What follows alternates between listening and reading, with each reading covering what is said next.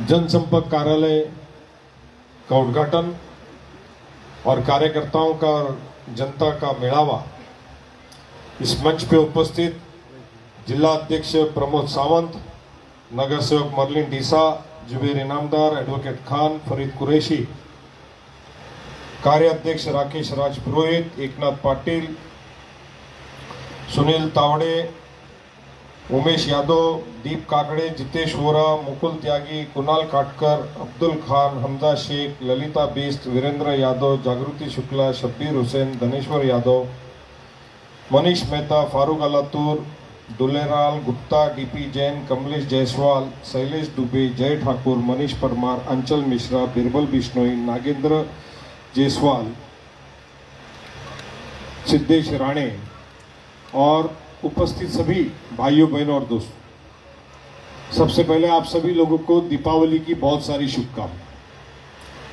हिंदुस्तान और पूरी दुनिया के अंदर ये एक में वो देश है जो पाँच दिन लगातार एक ऐसा बड़ा त्यौहार मनाता है, जिसे सभी जाति, धर्म के लोग इकट्ठा होकर के उसे पाँच दिन तक मनाते हैं। सरस्वती की पूजा करते हैं, गणेश देव की पूजा करते हैं और घर की सुख, शांति और धन और लक्ष्मी के लिए, प्राप्ति के लिए आस पड़ोस मोहल्ले, गाँव, परिसर के लिए, दीप जला करके, इसीलिए उसे दीपावली कहते हैं। दीपों की लाइन, घरों के सामने, दुकानों के सामने, मकानों के सामने दीप जलाना, और इसीलिए उसका नाम दीपावली पड़ा। इस देश के कई हिस्सों के अंदर, मर्यादा पुरुषोत्तम राम चौदह साल के वनवास के बाद लौटे तो उसके लिए भी दीपावली मनाई जाती। कहा जाता है कि वो इसी समय लौटे थे। तो ऐसी परंपराएँ इस देश की है। और इसीलिए आप और हम देखते हैं कि आप और हम सब एक दूसरों को लाडू खिलाते हैं। ये बात अलग है कि उमेश भाई ने अभी तक के हमको मिठाई का यहाँ पे एक टुकड़ा नहीं खिलाया। आप सब लोगों को भी भूखा प्यासा रखा है। मगर मुझे कान में बोल रहे थे कि साहब, कार्यक्रम के बाद, उद्घाटन के बाद सबके लिए खाना रखा हुआ है। मुझे खुशबू आ रही थी। मैंने बोला लेकिन चकली और लाडू का है? तो बोला जी वो थोड़ा गड़बड़ हो गई जा, ऑफ़िस पे रखे। तो मिठाई एक दूसरे को दे करके मुँह मीठा करके, गिले शिकवे, दोस्ती का हाथ बढ़ा करके, ये एक ऐसा बड़ा त्यौहार पूरी दुनिया में हिंदुस्तान की सिर्फ़ संस्कृति में है। और उस संस्कृति के रखवालदार, मानने वाले, आप और हम हिंदुस्तानी हैं। चाहे कितना प्रयत्न। भाजपा कर ले, आरएसएस कर ले, पानी पे लाठी मारने से पानी अलग नहीं होता। इस देश का जो गंगा, जमुना, सरस्वती का ये जो माहौल है, कुछ वक्त के लिए पानी भी प्रदूषित होता है, मगर उससे फिर क्या होता है? तबीयत बिगड़ती है। अभी प्रमोद सावंत बता रहे थे कि पाँच दिन तक पानी नहीं था तो पाइपलाइन फूट गई थी। जब पाइपलाइन फूट गई तो उसमें गंदा पानी आ जाता है। तो उसी तरह से इस देश के लोकतंत्र में थोड़े दिनों के लिए पाइपलाइन फूट गई है। उसमें गंदा पानी आ गया है और लोगों को अभी पीने के बाद पता लग गया है कि भैया, ये केंद्र की सरकार जो बैठी है, इसने हमारा खाना और पेट दोनों खराब कर दिया पेट्रोल की कीमत जब बढ़ती है तो सिर्फ़ गाड़ी, स्कूटर या घर का गैस की कीमत नहीं बढ़ती। जब पेट्रोल और डीजल की कीमत बढ़ती है तो हर चीज़ की कीमत बढ़ती है। किसान को जितना डीजल लगता है, पंप चलाने के लिए डीजल लगता है, ट्रैक्टर के लिए डीजल लगता है, ट्रांसपोर्ट करने के लिए ट्रक लगती है, लॉजिस्टिक के लिए गाड़ियाँ लगती है, फैक्ट्री वालों को गाड़ियाँ लगती है, पेट्रोलियम लगता है, ऑयल लगता है, डीजल लगता है, क्रूड ऑयल लगता है तो जब पेट्रोलियम का प्रोडक्ट की कीमत बढ़ती है, तब आपके और हमारे देश में, आपके हमारे घर में आने वाले हर सामान की, हर कीमत की कीमत बढ़ती है। आज दो साल होने को आ गया है, कोविड पूरी दुनिया में चल रहा है। छह महीना पहले आज जो सौ करोड़ वैक्सीनेशन हुआ है, ये अपनी पीठ अपने हाथ से थपथपा रहे हैं कि पंत प्रधान जी का जाकर के आज उनके कार्यालय में उनके ही प्रदेश के नेशनल प्रेसिडेंट के पंत प्रधान जी के वजह से 100 करोड़ लोगों को वैक्सीनेशन मिला। सही बात है, आज 100 करोड़ लोगों को मिला है। मगर ये सौ करोड़ छह महीना पहले हो सकता था। जो सेकेंड कोविड का जो मार चली इस साल में, और लाखों लोगों को अपनी जाने गंवानी पड़ी, गंगा या गंगा मैया के अंदर लाशों को, बहाना पड़ा लोगों को, कि जलाने के लिए लोग नहीं थे, अंतिम संस्कार करने के लिए लोग नहीं थे। हज़ारों हज़ारों की तादाद में आपने, हमने, गुजरात हो, राजस्थान हो, महाराष्ट्र हो, सब जगह शमशान हो, कब्रस्तान हो, बरियल ग्राउंड में हालात देखी, कि बाप को कंधा देने के लिए बेटा नहीं जा पाया, बेटी की अर्थी किसी दूसरे शहर में उठ गई, कोई गंगा में बह के चला गया तो कोई कहीं दफन हो गया। मगर इस देश के पंत प्रधान ने दुनिया का लीडर बनने के चक्कर में इस देश के करोड़ों वैक्सीनेशन दुनिया में 90 देशों में बांट दिया। वो वैक्सीनेशन अगर सही वक्त पे हिंदुस्तान में लगा होता तो आज पूरा 270 करोड़ लोगों को वैक्सीनेशन हो गया होता। इस जून तक इस सरकार ने, केंद्र सरकार ने सिर्फ़ दो कंपनियों को वैक्सीनेशन बनाने की परमिशन दी। जब सुप्रीम कोर्ट ने इस केंद्र सरकार को पूछा और लथाड़ा, तब जाकर के इन्होंने बाकी अन्य सात कंपनियों को परमिशन दी और इसलिए जाकर के वैक्सीनेशन का प्रोडक्शन बढ़ा और अब जाकर के वो जुलाई से लेके अब नवंबर तक के 100 करोड़ हुआ। आप लोगों को विचार करने की बात है कि ये काम पिछले साल भी हो सकता था, मगर नहीं किया। आज सौ करोड़ हो गया है तो खुद की पीठ थपथपा रहे हो। उन लोगों के बारे में क्या जिनके घर में मैयतें हो गई? जिनके घर के लोग चल बसे। आज उत्तर प्रदेश का चुनाव है तो रोज योगी महाराज आपको टीवी पे दिखते हैं। आज रोज बोल रहे हैं कि हम इतने लाख रुपए कोविड से जिनकी प्राण की आहुति गई है, जिनके घर के सदस्य चल बसे हैं, हम उनको इतने लाख रुपया दे रहे हैं। हम उनको राशन फ्री दे रहे हैं। तो ये कोविड के समय दो साल आप क्या सो रहे थे? मगर चुनाव आया है। चुनाव आया है यूपी में। भगवान राम का मंदिर बन रहा है, सुप्रीम कोर्ट का जजमेंट हुआ है। तीन हज़ार करोड़ रुपए जमा हुए हैं पेटी में। ये मैं नहीं कह रहा हूँ। ये video TV, BBC, CNBC, international media बता रहा है कि तीन हज़ार करोड़ जमा किया गया। और अब उसका भी राजकरण होगा, ध्रुवीकरण होगा कि दो साल तक के सारे मीडिया, राम जी का मंदिर का दर्शन आपको, हमको कराएँगे और हिंदू और मुसलमान के अंदर फिर से उस भावनाओं को जगाने का प्रयास करेंगे। वो पिछला इतिहास, बाबरी मस्जिद का दोहराने का प्रयास करेंगे, वो दिखाते जाएँगे और हिंदू मुसलमान में पोलराइजेशन करने का काम करेंगे और आपको आपके जेब से पैसा और डाका जो डाला जा रहा है, उसको भुलाने के लिए आपको इस तरफ़ ये रास्ता दिखाया जाएगा। आप भूल जाते हो कि सौ रुपए का पेट्रोल है, एक हज़ार रुपए का गैस है। ये वही स्मृति ईरानी है, अभी टीवी पे दिखती नहीं है। ये वही फाइनेंस मिनिस्टर है, अब मुँह से आवाज़ निकलती नहीं है। जब मनमोहन सिंह जी को पेट्रोल डीजल का भाव जब दुनिया के बाज़ार में 100 डॉलर पर बैरल था डेढ़ सौ डॉलर पर बैरल था, तब हिंदुस्तान की सरकार, कांग्रेस की सरकार, यूपीए की सरकार सत्तर रुपए में पेट्रोल और डीजल दे रही थी। तब यही भाजपा के नेता जो आज केंद्र में मंत्री बन के बैठे, जिनका नामो निशान नहीं दिखता, वो मंत्री है कि नहीं, ये भी पता नहीं लगता। ये मनमोहन सिंह जी को चूड़ियाँ पेश करते थे। आपको ये याद रखना होगा, मगर आपको ये सब भुलाने के लिए ये सारा तमाशा चलेगा। फिर से चलेगा।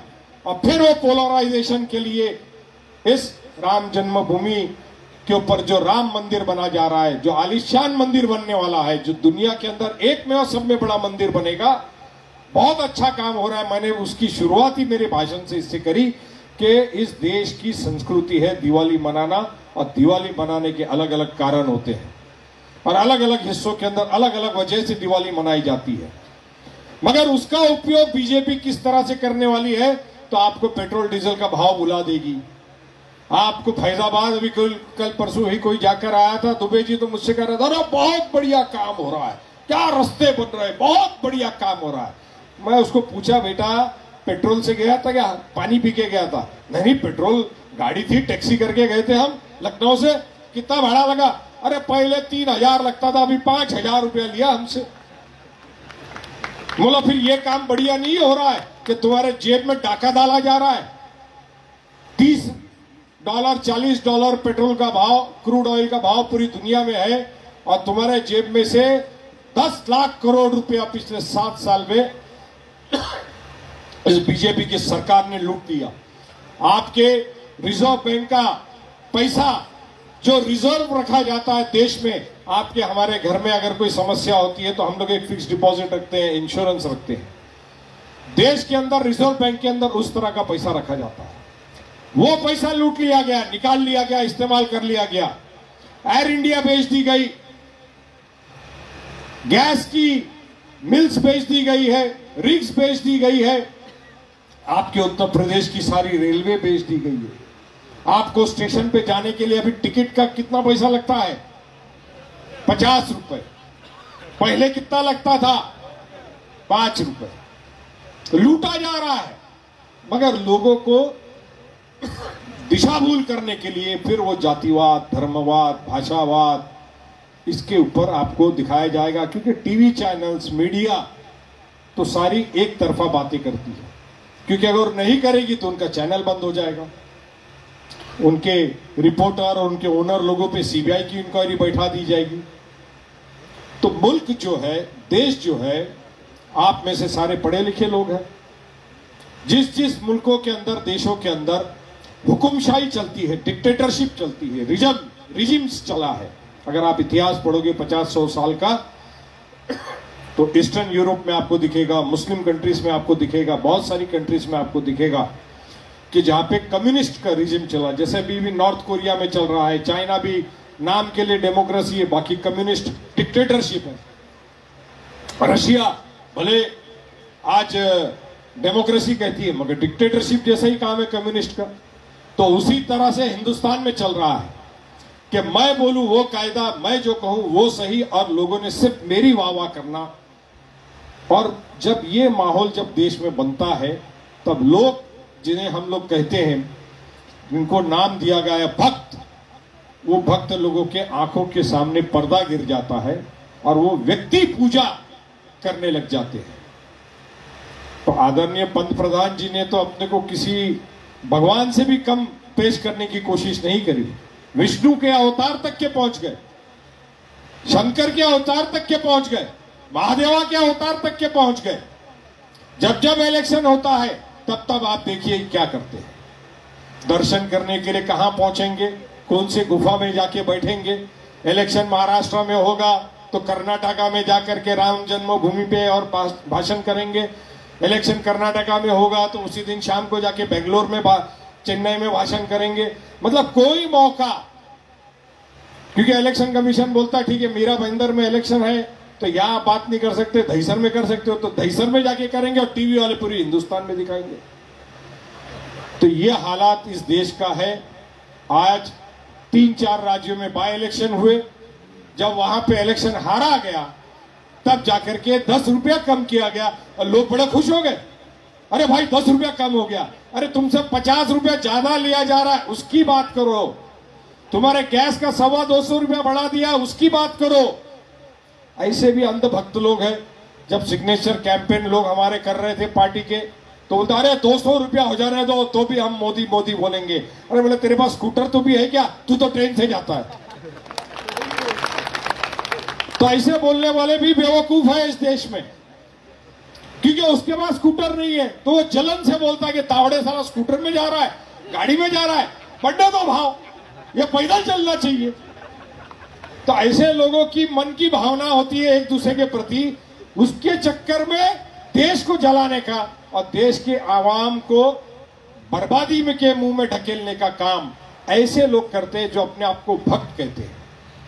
आप जैसे ही कुछ लिखना चालू करोगे तो वो गालियाँ देना शुरू करेंगे। आप सोच भी नहीं सकते कि कितने हज़ार करोड़ रुपया भाजपा आरएसएस इस सोशल मीडिया पे करती है। आप सब लोगों ने देखा कि इस कोविड के उसमें भी किस तरह से पोलराइजेशन किया, एक मिसाल मैं देता हूँ और मेरा भाषण खत्म करता हूँ। आप लोग सब उस बात की गवाह दोगे कि आप सबके, यहाँ मेजोरिटी मेरे हिंदू भाई बैठे हैं। आप सबको यह लगता है कि मुसलमान कम्युनिटी वैक्सीनेशन नहीं लेती लगता है कि नहीं लगता? हाँ या ना बोलो? अरे हाँ या ना बोलो? लगता है ना? वो इसको भी पोलराइज किया गया। पूरी दुनिया के अंदर जो मुस्लिम कंट्रीज़ है सऊदी अरेबिया हो दुबई हो चाहे जिसका नाम लो, सबने वैक्सीनेशन किया। हिंदुस्तान के अंदर कोई मौलाना ने ये नहीं बोला कि वैक्सीनेशन मत लगाओ। मगर बीजेपी के सोशल मीडिया ने ऐसे वीडियोस चलाए मुस्लिम कम्युनिटी के बीच में और हिंदू कम्युनिटी के बीच में कि वैक्सीनेशन लगाने से आदमी मर जाएगा और क्या क्या बीमारी हो जाएगी। तो इसका भी इस्तेमाल इन्होंने किया वैक्सीनेशन और कोविड के जमाने में कि किस तरह से हम हिंदू मुस्लिम डिवाइड करें और पोलराइजेशन करें। या हर चीज़ में आप खाने की बात करोगे तो बोलेंगे ये ये बीफ खाता है, ये चिकन खाता है, ये फ़िश खाता है, उसमें भी पोलराइजेशन आप क्या पहनते हो? ये टोपी पहनता है, दाढ़ी लगाएगा तो उस पर भी पोलराइजेशन हर चीज़ में पोलराइजेशन मगर पेट्रोल डीजल के भाव ने इनकी नींद उड़ा के रखी है, क्योंकि इनके पास इस देश को किस तरह से चलाना चाहिए, उसकी तरकीब इनके पास नहीं है। और इसीलिए आरबीआई का पैसा निकालो। पेट्रोल, डीजल का भाव बढ़ाओ उस पर टैक्स लगाओ और उसमें से पैसे लेकर के देश को चलाओ। आपके अकाउंट में, गाँव में दुबे जी, इलेक्शन होता है तो आपके अकाउंट में छह हज़ार रुपये आ जाता है। आपके अकाउंट में इंदिरा गांधी, राजीव गांधी, संजय गांधी जितनी योजनाओं थी, अपना नाम बदल दिया है, उसके पाँच पाँच सौ रुपये आपके अकाउंट में आ जाते हैं, आदिवासियों के अकाउंट में आ जाते हैं। एक एक घर में पाँच हज़ार, दस हज़ार रुपया बैंक अकाउंट में जमा हो जाता है। आदमी खुश कि मोदी जी का पैसा आ गया। बोलते हैं ना आप लोग ऐसे ही। आप लोग ऐसे ही बोलते हो, अरे अब मोदी जी का पैसा आ गया भाई अपने अकाउंट में। ये अब अगर आपको समझ में नहीं आता कि तुम्हारा 20 लाख करोड़ तुम्हारे जेब का पैसा लूटा है, इस देश की धन संपत्तियों को बेचा है, जो पंडित नेहरू ने, इंदिरा गांधी ने इस देश के अंदर खड़ा किया, उन इंडस्ट्रीज़ को बेचा है, वो ऑयल रिग्स को बेचा है, वो कारखानों को बेचा है और तुम्हारे पास से रोज का पेट्रोल, डीजल के उसमें टैक्स लगा के तुम्हारा पैसा लेकर के तुमको इलेक्शन के टाइम में पाँच हज़ार, दस हज़ार रुपए तुम्हारे अकाउंट में डाल दिया तो आप लोग खुश हो जाते हो। पंद्रह लाख के इंतज़ार में तो बेचारे कितने कोविड में भी चले गए ऊपर। कितने लोगों को तो वही मतलब थोड़ा सा ह्यूमरस वे में बोल रहा हूँ, हँसी मज़ाक के उसमें बोल रहा हूँ कि कई लोगों को तो वो झटका लग गया कि अरे अभी मुझे अगर पंद्रह लाख मेरे अकाउंट में आ रहा और मैं कोविड से मर गया तो? वो कोविड में झटके से मर गया का उससे हार्ट अटैक हो गया उसको। तो ऐसे कई आश्वासन और प्रॉमिस इन्होंने दिया। उसी तरह से इस शहर में भी आपको 24 घंटा पानी मिल रहा है। इतना पानी मिल रहा है कि ऊपर की टाकी से पानी गिर रहा है तो रास्ता अपने आप धुल रहा है। 2019 के इलेक्शन में होर्डिंग लगी थी 14 में लगी थी। और मुख्यमंत्री देवेंद्र फडणवीस जी ने कहा था, और उस टाइम के आमदार और महापौर और नगर सेवक ने कहा था 2019 में हम मेट्रो चालू कर देंगे। तो मैंने ये कहा था 2019 तक अगर मेट्रो इन्होंने चालू कर दिया तो मैं राजनीति छोड़ दूँगा। आज 2021 चालू है, फैसला इनको करना है कि मेट्रो चालू हुआ कि खाली मीटर डाउन हुआ। इसने बताया एनएमटी टैक्स। मेट्रो चालू होने का मतलब वो था। तुम लोगों ने गलत समझा पब्लिक ने कि गाड़ी में बैठने को मिलेगा। तो इस शहर के अंदर भी उसी तरह से झूठे आश्वासन। टैक्स के बारे में आपको बताया आज रात में घर में जाकर के अगर टैक्स की रिसीट आपके पास आई है तो ज़रूर जाके देखिएगा। अगर आपका सात सौ रुपया था तो वो सीधा पंद्रह सौ हो गया है, दो हज़ार रुपया हो गया है। उसका कॉन्ट्रैक्ट किसने लिया? एनएमटी 25 करोड़ का सर्वे करने का टेंडर दिया गया। मीरा महिंदर का सर्वे करने का पैसा कि आपका मकान 500 फुट का है कि 300 फुट का है? उस पर टैक्स कितना लगाने का? तुम्हारी बिल्डिंग 25 साल पुरानी है 30 साल पुरानी है और उसको टैक्स आज का लगाया जा रहा है। आपको पानी तो दिया नहीं। आपका सॉलिड वेस्ट मैनेजमेंट का प्रकल्प चार बन के रेडी हो गए। जो हम लोगों ने बनाया था, उसको आज तक ये चालू तो नहीं कर पाए, मगर टैक्स आपके ऊपर भेज दिया है। ऐसी कई चीज़ें हैं। वापस आपके सामने प्रचार होगा, भाषण होगा, होर्डिंग लगेगी यूट्यूब चलेगा, सोशल मीडिया के ऊपर चलेगा, और लोग वही मीडिया देख करके गोदी मीडिया के जैसा मीरा भयंतर में भी कॉरपोरेशन में फैसला करेंगे। अब आपको फैसला करना है केंद्र की सरकार और तुम्हारे जेब में कितने पैसे बचे हैं और तुम्हारे अकाउंट में बरोबर इलेक्शन के टाइम में कितने पैसे आते हैं और रात में आपको एनवलप कैसे आते हैं? इस इलाके में रात में एनवलप बहुत बढ़ते हैं। कॉर्पोरेशन के इलेक्शन के टाइम। क्यों दुबे जी? अरे बताओ भाई। आपने बताया नहीं भाषण में कि दुबे जी के चुनाव में मैं घूम रहा था जैसल पार्क में तो हमको पुलिस को बुलवाया हमने यहाँ केविन रोड पर बुलवाया। पाँच पाँच सौ रुपया, दस एक एक हज़ार रुपए के एनवलप बटे जा रहे थे घरों के अंदर। तो यही म्यूनसिपैलिटी में भी हो रहा है। तुम्हारे पे चार गुना टैक्स लगाया जा रहा है। तुम्हारे जेब से पैसा निकाल करके तुमको पाँच टका इलेक्शन में तुम्हारे मुँह में फेंका जा रहा है। तो ये भ्रष्टाचार जो केंद्र की सरकार कर रही है, वही राज्य की सरकार अपना ये मीरा महेंद्र की सरकार कर रही है। और ये चीज़ों से आपको लड़ना है। आपको हमारे लिए नहीं लड़ना है, आपको अपने लिए लड़ना है।